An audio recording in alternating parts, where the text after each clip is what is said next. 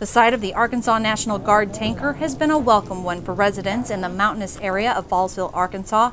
They know it has carried the water that has supplied their homes and businesses ever since a main pump broke at the water treatment plant. It is the only supply that has been here for probably over 10 days. What residents may not know is how unconventional this method of providing water actually is. We started out with just parking the 5,000 gallon tanker down the road. People were coming to it to get water. We, two days into it, we realized not everybody could get water. There's a lot of elderly and other people that can't really get out and get their water. And if they can, it has to be, you know, a few gallon at a time. So, so we started thinking of ways to make it better for the community.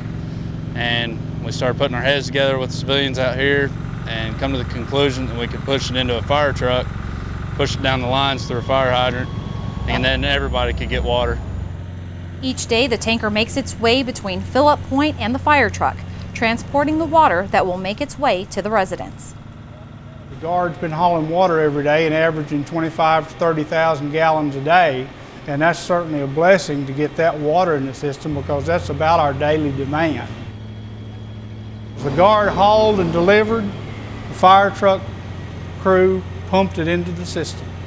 At our slowest point, we're still probably pumping 150 gallons a minute. The teamwork between local volunteers and Arkansas Guardsmen ensures the majority of residents continue receiving water while the pump is being fixed.